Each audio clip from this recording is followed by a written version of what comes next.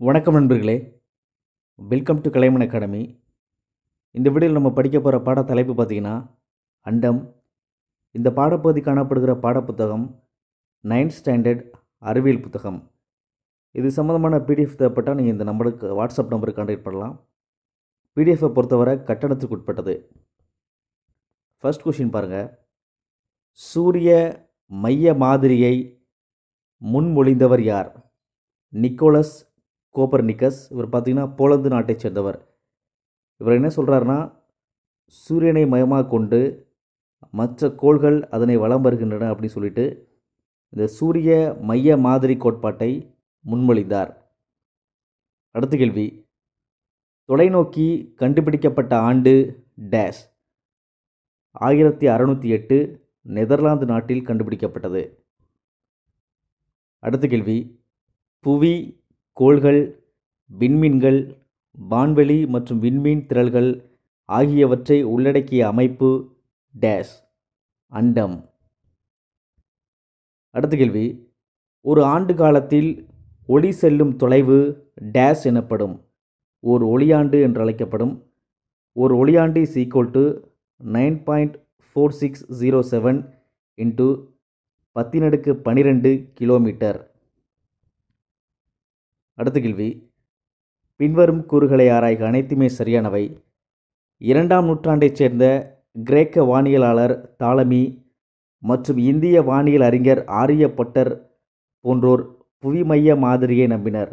இவங்களாம் என்ன நம்பினாங்கன்னா புவியை மயமாக கொண்டு சூரியன் மற்றும் மற்ற கோள்கள் இயங்குகின்றன அப்படிங்கிற கோட்பாட்டை நம்பினாங்க. ஆனால் அவர்களுக்கு பிறகு வந்த கோபர் நிக்கஸ் என்ன பண்ணார்னா அந்த சூரிய மைய மாதிரி கோட்பாட்டை வெளியிடுகிறார். அடுத்த கூற்று. அண்டத்தின் எல்லை நாளுக்கு நாள் பெரிதாகி கொண்டே இருக்கின்றது. இந்த கூற்று சரியானது. அண்டத்தின் பெரும்பகுதி வெற்றிடமாகும். சரியான கூற்று. விண்மீன் திரள்கள் அண்டத்தின் அடிப்படை கூறுகளாகும். அண்டத்தின் அடிப்படை கூறுகள் பார்த்திங்கன்னா விண்மீன் திரள்கள். அடுத்த கேள்வி. பேரண்டத்தில் சுமார் எத்தனை பில்லியன் விண்மீன் திரள்கள் உள்ளன? சுமார் நூறு பில்லியன் விண்மீன் திரள்கள் காணப்படுகின்றன. அடுத்த கேள்வி. நமக்கு அருகாமையில் உள்ள விண்மீன் திரளின் பெயர் டேஸ் அண்டிரோமிடா. நமக்கு அருகாமையில் உள்ள விண்மீன் திரளின் பெயர் பார்த்திங்கன்னா அண்டிரோமிடா. அடுத்த கேள்வி. நமது பால்வெளி விண்மீன் திரளின் மையத்தை சுற்றி வர சூரியன் எடுத்துக்கொள்ளும் ஆண்டுகள் டேஸ் இருநூற்றி ஐம்பது மில்லியன் ஆண்டுகள். அடுத்த கேள்வி. பூமி ஒரு வினாடிக்கு எத்தனை கிலோமீட்டர் வேகத்தில் இயங்குகிறது? முப்பது கிலோமீட்டர் வேகத்தில் இயங்குகிறது. அடுத்த கேள்வி. பால்வெளி விண்மீன் திரளுக்கும் அதாவது நம்ம இருக்கிற இந்த சூரிய குடும்பம் தான் பால்வெளி விண்மீன் திரளில் காணப்படுது. பால்வெளி விண்மீன் திரளுக்கும் அண்டிரோமிடா விண்மீன் திரளுக்கும் இடைப்பட்ட தொலைவு டேஷ் ரெண்டு புள்ளி ஐந்து பில்லியன் ஒளி ஆண்டுகள். அடுத்த கேள்வி பின்வரும் கூறுகளை ஆராய்க. அனைத்துமே சரியானவை. விண்மீன்கள் வெப்பம் ஒளி புற ஊதா கதிர்கள் எக்ஸ் கதிர்கள் உள்ளிட்ட பல கதிர்வீச்சுகளை உண்டாக்குகின்றன. சரியான கூற்று. விண்மீன்கள் அனைத்தும் ஹைட்ரஜன் வாயுவால் நிறைந்துள்ளன. இந்த கூற்றும் சரியானது. ஹைட்ரஜனும் ஹீலியமும் இணையும் போது அதிக அளவு வெப்பம் வெளிப்படுகிறது. சரியான கூற்று. நமது அண்டத்தில் சுமார் நூறு பில்லியன் விண்மீன் திரள்கள் காணப்படுகின்றன. ஒவ்வொரு விண்மீன் திரளிலும் நூறு பில்லியன் விண்மீன்கள் காணப்படுகின்றன. இந்த குற்றம் சரியானது. கடைசி கூற்று பாருங்க. வெப்பமான விண்மீன்கள் வெண்மை மற்றும் நீல நிறத்திலும் குளிரான விண்மீன்கள் ஆரஞ்சு மற்றும் சிவப்பு நிறத்திலும் காட்சியளிக்கின்றன. அனைத்து கூறுகளுமே சரியானவை. அடுத்த கேள்வி. சில விண்மீன்கள் குழுக்களாக இணைந்து ஒரு உருவத்தை தோற்றுவித்தால் அவை டேஷ் என்று அழைக்கப்படுகின்றன நட்சத்திர கூட்டங்கள் என்று அழைக்கப்படுகின்றன. இந்த மாதிரி உருவத்தை கொடுக்கக்கூடிய நட்சத்திர கூட்டங்கள் பார்த்திங்கன்னா மொத்தம் எண்பத்தி எட்டு நட்சத்திர கூட்டங்கள் கண்டறியப்பட்டுள்ளன.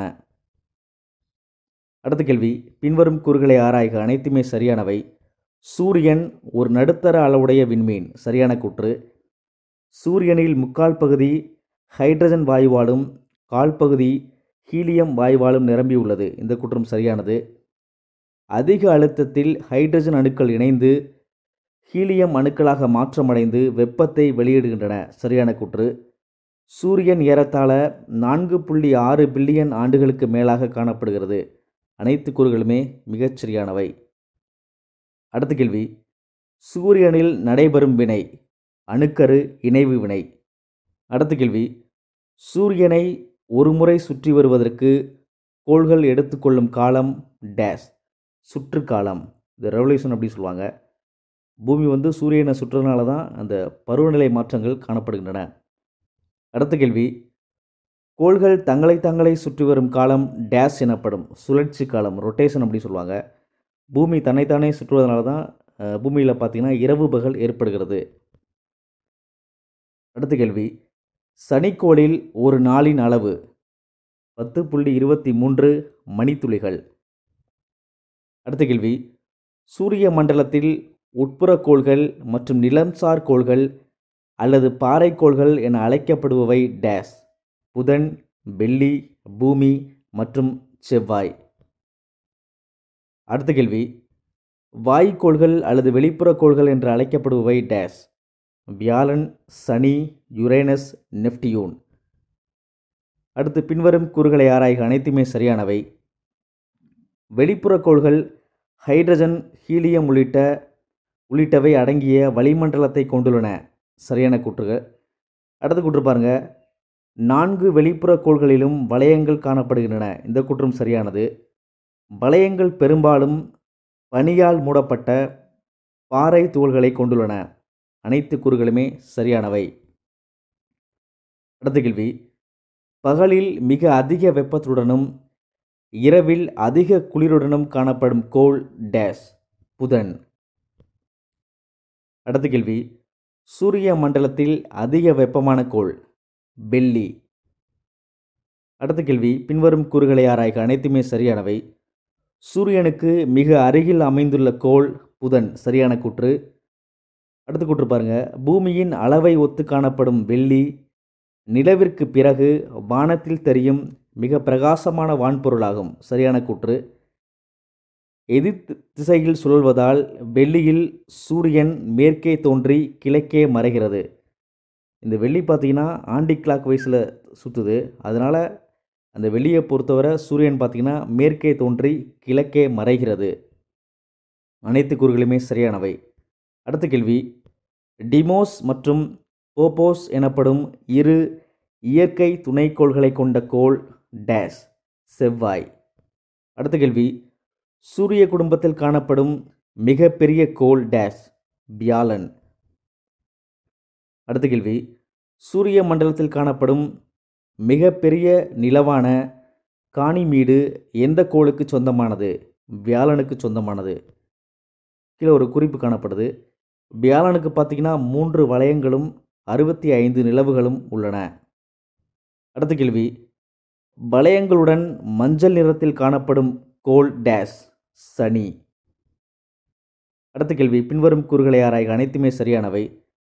வியாழனுக்கு அடுத்து இரண்டாவது பெரிய வாயுக்கோள் சனிக்கோளாகும். சரியான கூற்று. சனிக்கோளில் சுமார் அறுபது நிலவுகள் உள்ளன. இதில் டைட்டான் என்ற நிலவே மிகப்பெரியது. சரியான கூற்று. நம் சூரிய குடும்பத்தில் மேகங்களுடன் கூடிய ஒரே நிலவு டைட்டான் ஆகும் இந்த குற்றம் சரியானது. அடுத்த கேள்வி.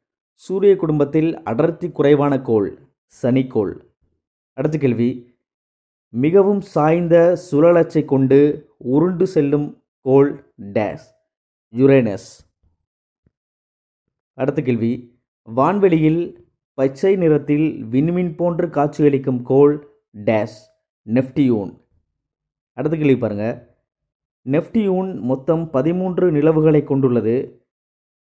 அதில் காணப்படும் மிகப்பெரிய நிலவு ட்ரைட்டான். அதில் குறிப்பு பாருங்கள் சூரிய மண்டலத்தின் கோளின் சுழற்சிக்கு எதிர் திசையில் சுற்றும் ஒரே நிலவு ட்ரைட்டான் ஆகும்.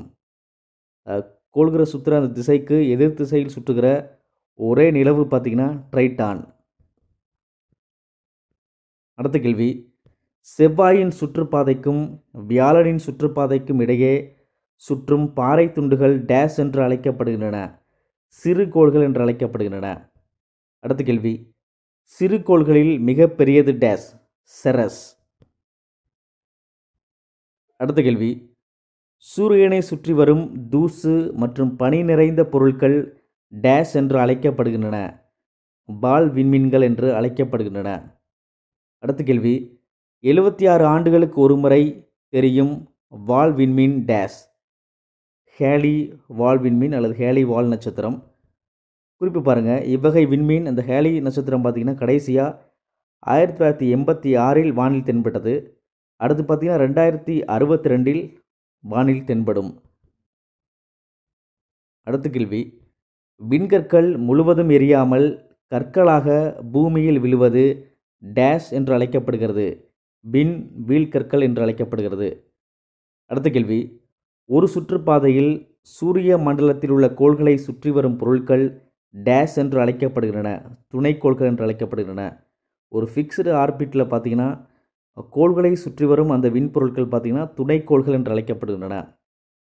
அடுத்த கேள்வி இயற்கையான துணைக்கோள்கள் டேஷ் என்று அழைக்கப்படுகின்றன நிலவு என்று அழைக்கப்படுகின்றன.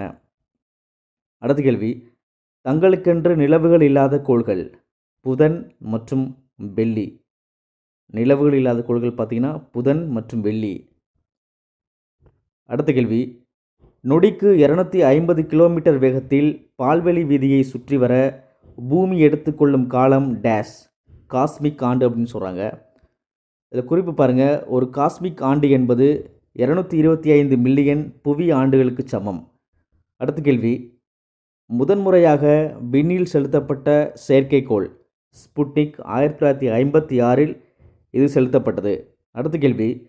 எந்த ஆண்டில் இந்தியா தனது முதல் செயற்கைக்கோளான ஆரியப்பட்டாவை விண்ணில் செலுத்தியது? ஆயிரத்தி தொள்ளாயிரத்தி எழுபத்தி ஐந்து ஏப்ரல் பத்தொன்பதில் ஆரியப்பட்டா இந்தியாவில் விண் இந்தியாவால் விண்ணில் செலுத்தப்பட்டது. அடுத்த கேள்வி. செயற்கைக்கோள் வட்டப்பாதைகள் சுற்றி வர அதற்கு அளிக்கப்படும் கிடைமட்ட திசைவேகம் டேஷ் எனப்படும் சுற்றியக்க திசைவேகம் என்று அழைக்கப்படும். அடுத்த கேள்வி. புவியின் நிறை மற்றும் அதன் ஆரம். புவியின் நிறை பார்த்திங்கன்னா ஐந்து புள்ளி ஒன்பது ஏழு ரெண்டு இன்று பத்தினடுக்கு இருபத்தி நான்கு கிலோகிராம். ரொம்ப முக்கியமானது புவியின் நிறை. புவியின் ஆரம் பார்த்திங்கன்னா ஆறாயிரத்தி முந்நூற்றி எழுபத்தி ஒரு கிலோமீட்டர். அடுத்து பின்வரும் கூறுகளை ஆராய்க. அனைத்துமே சரியானவை.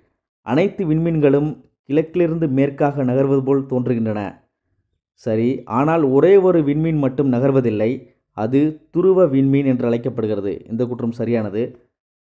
அடுத்து பாருங்கள் புவியின் தெற்கு அரைக்கோளத்தில் துருவ விண்மீன்கள் தெரிவதில்லை. இந்த குற்றம் சரியானது. அடுத்த கேள்வி சூரிய இயக்கத்திற்கான மூன்று விதிகளை வெளியிட்டவர் யார்? ஜோனஸ் ஹெப்லர் அடுத்த கேள்வி பன்னாட்டு விண்வெளி மையம் விண்வெளியில் நிலைநிறுத்தப்பட்ட ஆண்டு ஆயிரத்தி தொள்ளாயிரத்தி தொண்ணூற்றி எட்டு. ஆனால் ரெண்டாயிரத்தில் தான் ம மனிதர்கள் அங்கு சென்று ஆராய்ச்சியை தொடங்கினர். ரெண்டாயிரத்தி இருபத்தி நாலு அல்லது ரெண்டாயிரத்தி இருபத்தி எட்டு வரை அந்த விண்வெளி மையம் செயல்படும். அடுத்த கேள்வி. பன்னாட்டு விண்வெளி மையத்தை மேற்பார்வையிடும் நிறுவனம் நாசா. குறிப்பாக பார்த்தீங்கன்னா விண்வெளி மையம் பார்த்திங்கன்னா மற்ற நாடுடைய அந்த பங்களிப்பில் தான் அமைக்கப்பட்டது. அதில் முக்கியமான பிரதான அமைப்பு பார்த்திங்கன்னா அந்த நாசா. அடுத்த கேள்வி. ஹெப்லரின் மூன்றாம் விதியை டேஸ் என்றும் அழைப்பர். ஒத்திசைவுகளின் விதி என்றும் ஹெப்லரின் மூன்றாம் விதி அழைக்கப்படுகிறது. தேங்க்ஸ் ஃபார் வாட்சிங் நண்பர்களே. நன்றி. வணக்கம்.